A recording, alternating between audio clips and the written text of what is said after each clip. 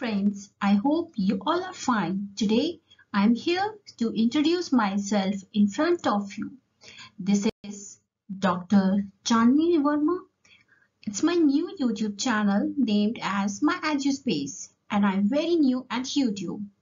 It's my first video and hope you all support me and I teach you different topics on biology. If you want to learn something, just drop the comment and I will make sure you got your point of view and make a video for you and soon it will be uploaded on my channel. Now, no more taking or wasting the time, let's get started. In this video, we are going to look at the structure and function of a prokaryotic cell and what are the basic differences exist between a prokaryotic and eukaryotic cell.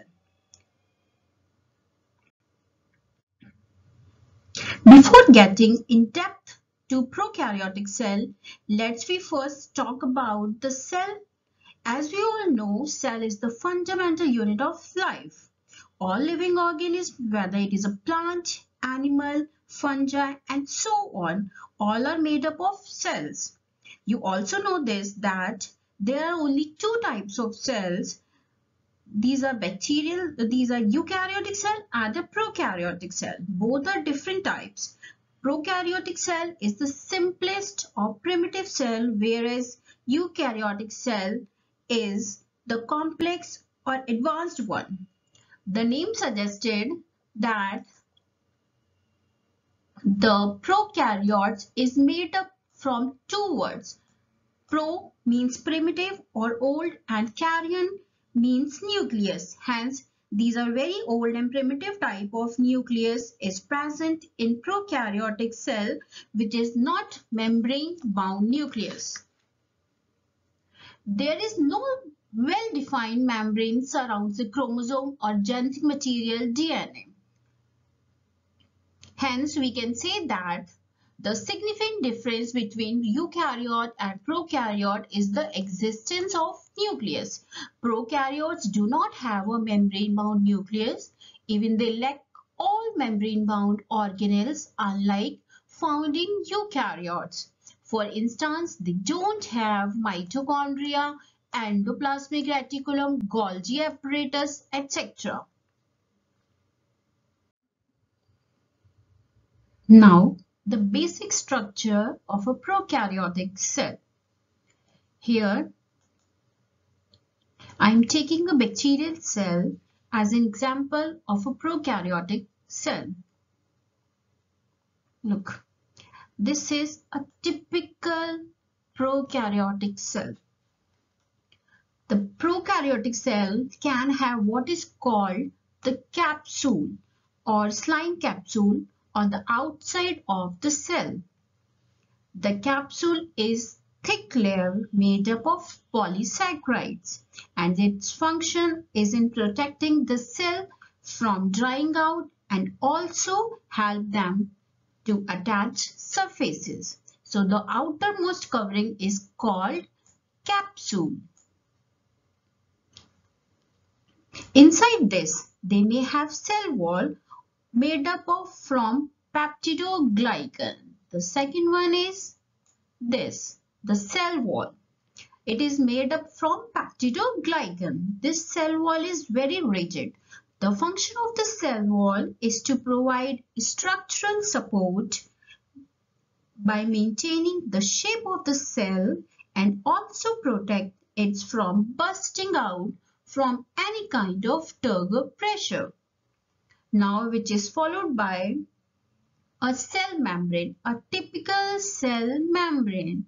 You can see CCC, capsule, cell wall and then cell membrane. This is the outer envelope of any prokaryotic cell.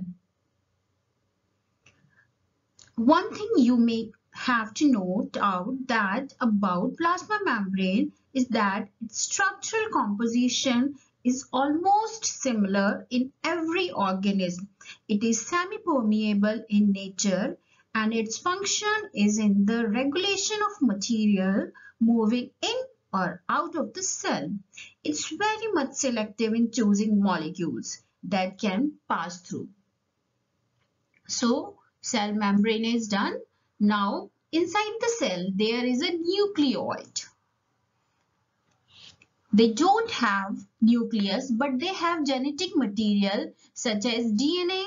This is such as DNA or deoxyribonucleic acid concentrated near the center of the cell forming nucleoid. This genetic material or chromosomes are also known as genophore. Somewhere you can also see that it is also called genophore. Sorry, my writing is very bad. Genophore.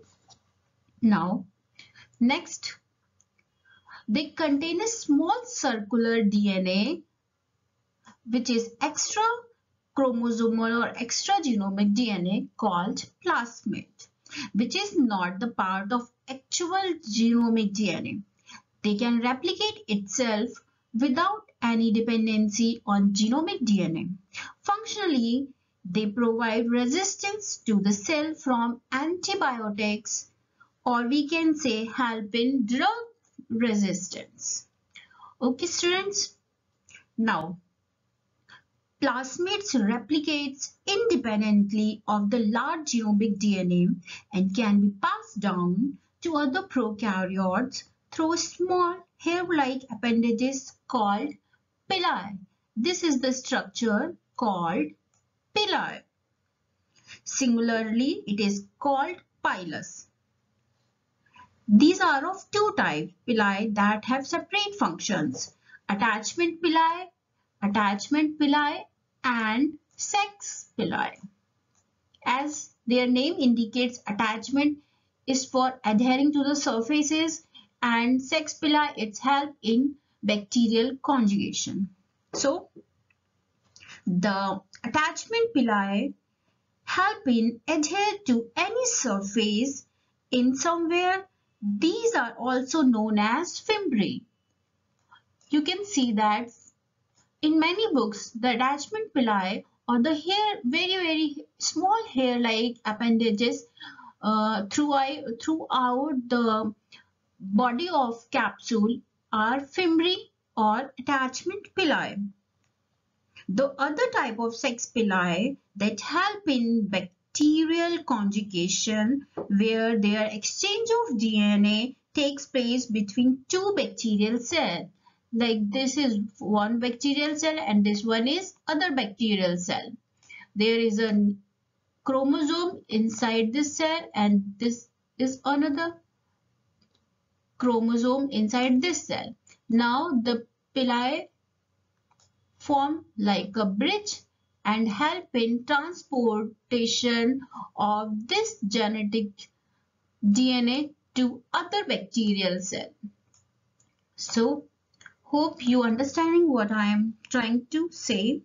Now the seventh, the cell ribosomes the ribosomes. Now you must be thinking that if there is no organelle present in any prokaryotic cell, then why these ribosomes? Because ribosomes are naked structures. They don't have any kind of membrane that covered them.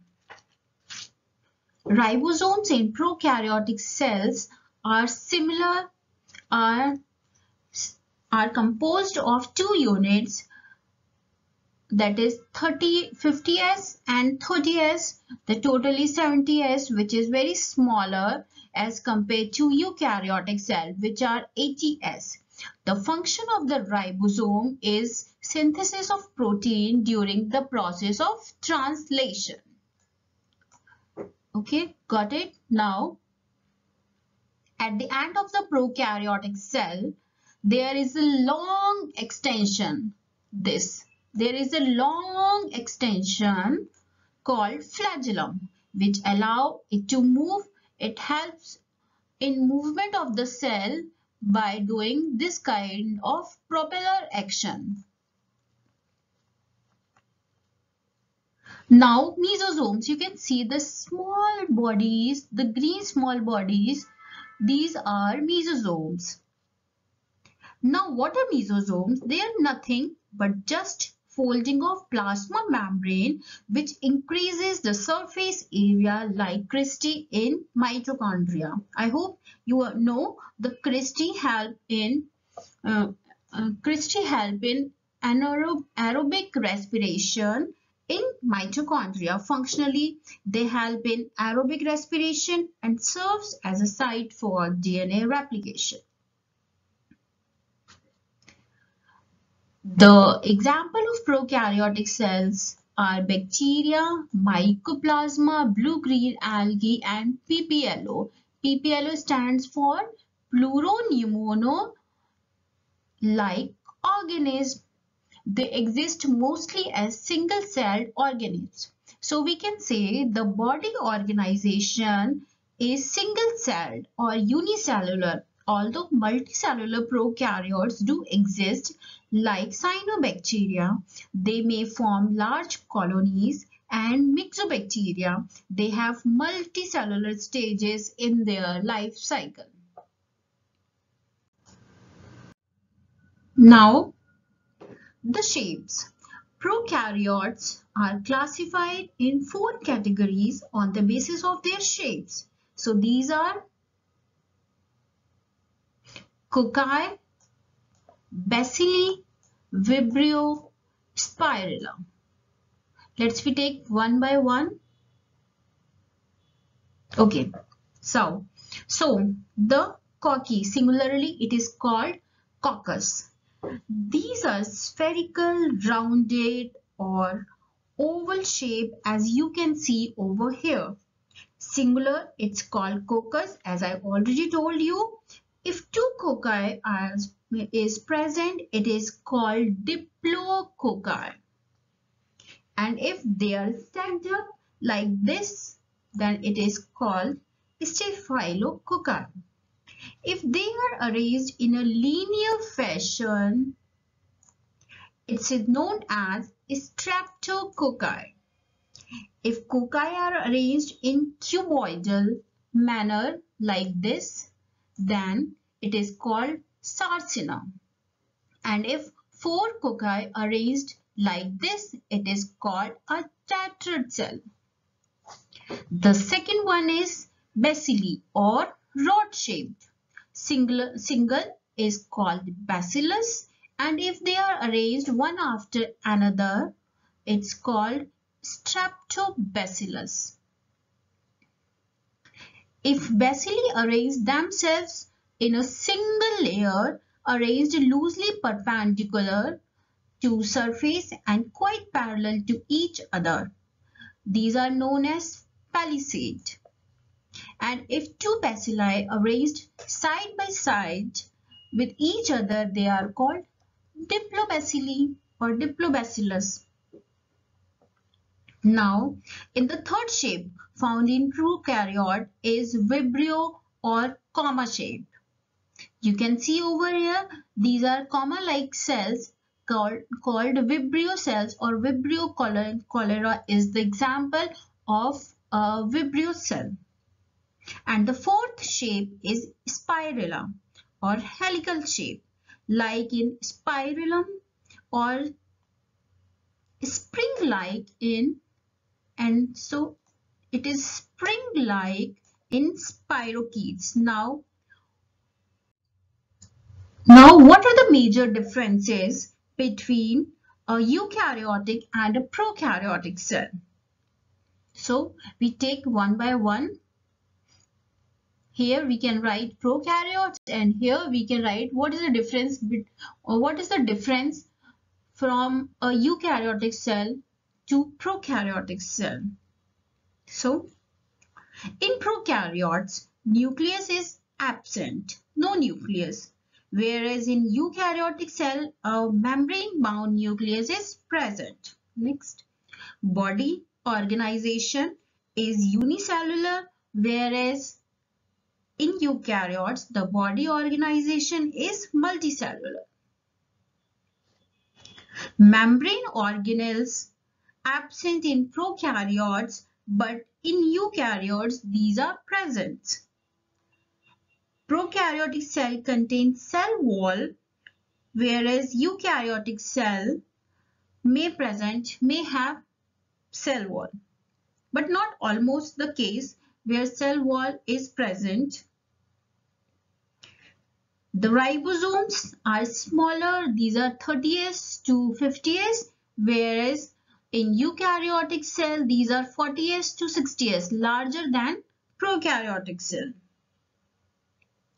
the extra chromosomal DNA that is plasmid is common in prokaryotes but rare in eukaryotes.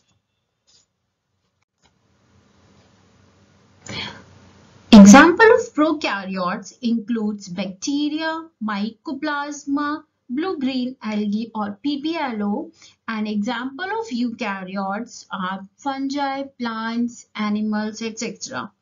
So, in this video, we have discussed about the specific characteristics of prokaryotic cell, the structure of a typical bacterial cell, the shapes of prokaryotic cell, and the major difference between eukaryotes and prokaryotes. Thank you for watching. To support this channel, please subscribe, share and watch more videos and please, please, please hit the bell icon for update.